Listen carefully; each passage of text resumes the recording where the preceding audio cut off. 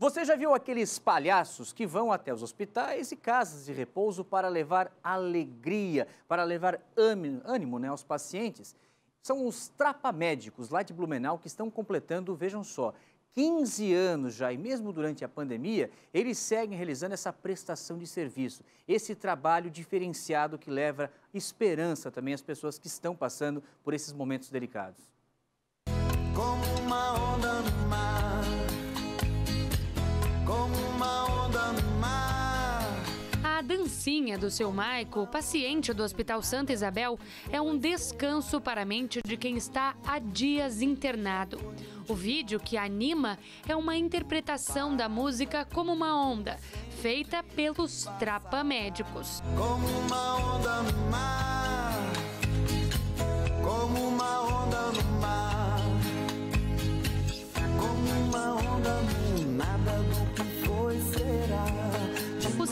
responsáveis pelas filmagens há 15 anos auxiliam na recuperação dos pacientes em hospitais e asilos de Blumenau.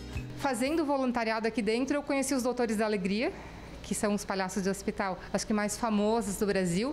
Fiz alguns cursos e resolvi com uma outra amiga que fazia voluntariado também aqui com a gente iniciar as visitas. E como o trabalho foi dando certo, mais pessoas foram agregando ao grupo, a gente aí acabou é, conseguindo, até por uma característica acho, da minha vida profissional, que eu sou administradora, trabalhar muito com gestão.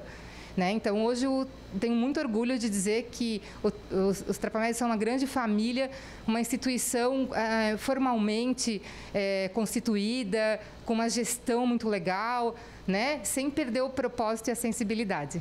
Atualmente, 52 pessoas participam do projeto de voluntariado. Uma delas é Milena, empresária da cidade que há alguns anos dá vida a uma personagem um pouco atrapalhada. É aqui nesse espelho que a Milena deixa de ser a Milena para se tornar a doutora Pipoca. E a história dela no voluntariado começou há nove anos, quando ela estava dentro do hospital. Quando eu tive a minha filha, ela nasceu prematura. E daí eu fiquei bastante tempo com ela no hospital. E um dos dias que eu estava lá, eu recebi a visita do, dos trapamédicos. E isso faz nove anos. E mexeu bastante comigo, eu fiquei pensando bastante tempo. Foi naquele momento um alívio, uma alegria. Quando tudo melhorou com ela, ela já era maiorzinha, tinha perto de um aninho, eu fui atrás. Decidi é, pesquisar como é que fazia para entrar. Assim como outros palhaços, a doutora Pipoca teve um trabalho de criação, que faz parte do processo dos voluntários. Eles participam de diferentes graus de treinamento para desenvolver não só o improviso e a parte artística, mas também psicológica e emocional. A doutora Pipoca, ela é mais perdida na música. A Rolinha, que é a minha parceira, ela é a que entende, que puxa, e a doutora Pipoca apoia, mas às vezes ela não consegue. Depois de tantos anos alegrando pacientes nos quartos de hospitais, a alegria precisou ser redirecionada em razão da pandemia. Mas nunca deixou de acontecer.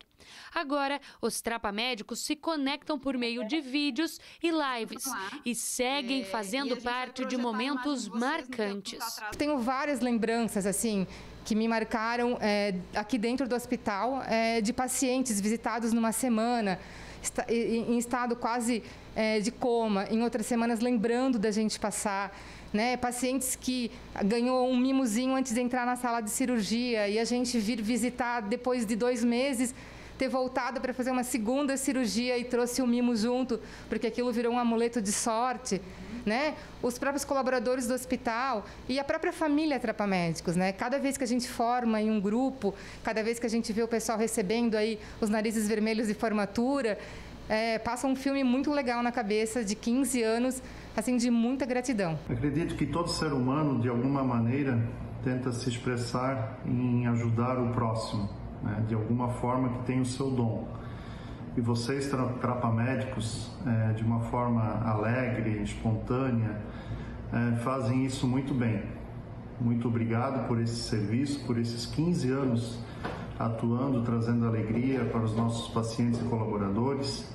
em especial você, Adriana, também, que iniciou com isso, já sendo uma, nossa, uma voluntária nossa, mas que usou desse dom a mais que Deus lhe deu, buscou novos amigos e hoje é um grande time de tropa médicos é, alegrando a família Santa Isabel. Muito obrigado.